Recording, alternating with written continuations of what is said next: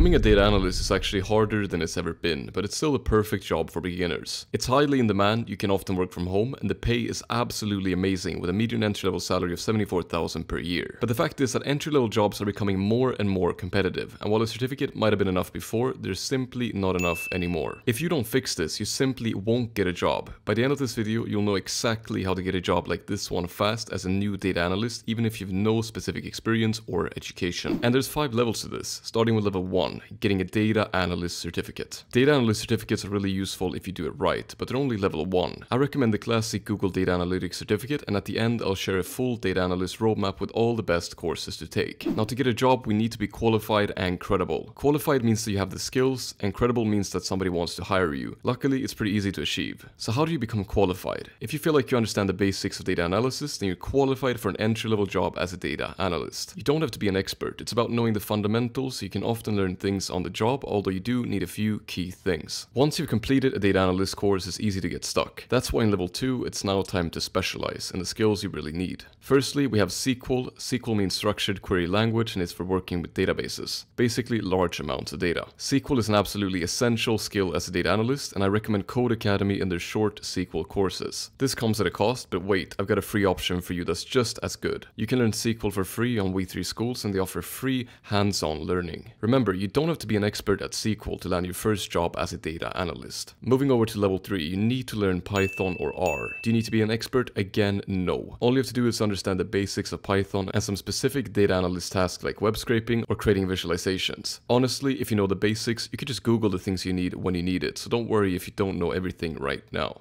I prefer Python since it's beginner friendly and widely used, opening up lots of new jobs for you. The course Python for Everybody is a great way to get started, but that requires a subscription, so a great free alternative is CS50 Introduction to Programming with Python. It's a free online course that comes with a free Python certificate. Next, level 4. Learn Tableau or Power BI. Both visualization tools are popular, so which one should you pick? I recommend just taking a quick course on one of them or both, for example these ones on DataCamp. They're just a few hours long and will give you the basic Tableau or Power BI experience to put it on your resume. If you're looking for your first data analyst job, that's definitely enough and you can focus on other things. Level 5 is a step where most people mess up. I remember starting out thinking all I had to do was take some courses and I was so wrong. Because the most important thing is not a course or a certificate. It's how you can show these skills to employers. It's about becoming credible. Let's make some portfolio projects to do this. Projects are essential to learn and show your skills to employers. You can be qualified, but you need a portfolio to land a job. I recommend keeping your first projects very simple. Guided projects on Coursera are perfect to get started. I like this one, COVID-19 data analysis using Python. You follow along with the instructor on a split screen and after you're done you get a Python project that you can put in your portfolio right away. Some projects require a subscription but there are lots of free projects too and they're definitely enough. You still need a portfolio to put your projects in, so head over to Kaggle, a free site by Google,